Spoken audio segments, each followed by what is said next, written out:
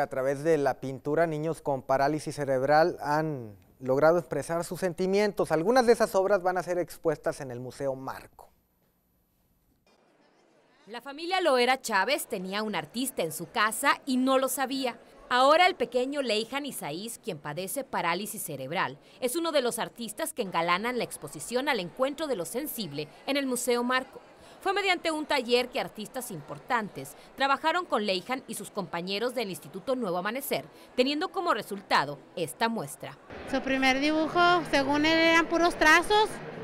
Pintaba trazos y tachitas y bolitas, según él. Y así empezó, puras rayas. Pues ahora mira ya, pintó un cuadro, le ayudó al pintor muy bonito. Pues estamos bien felices. El pequeño artista, con su talento, ha cautivado a su familia. Laura Silvia de Loera dijo que jamás imaginó que el menor de cuatro años de edad pudiera expresar lo que siente por medio de un pincel y un lienzo. Evidentemente emocionada, la madre de Leijan contó lo orgullosa que se siente de su hijo. ¿Qué pensaste cuando viste el cuadro?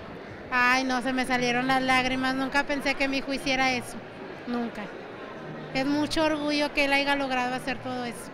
Y cómo no estar orgullosos del pequeño Leijan, quien logró plasmar junto al pintor César Polak esta obra de arte en la que predominan los colores vivos, que son los favoritos del pequeño artista. La inauguración de esta exposición en su onceava edición se llevó a cabo este lunes en el Museo Marco. Si usted está interesado en adquirir una de estas grandes obras de arte elaboradas por manos pequeñas, puede asistir a su subasta silenciosa que será este 4 de septiembre.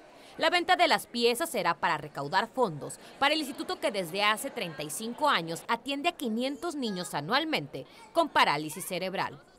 Con imágenes de Adalberto Barbosa, Rox García, Noticieros Televisa.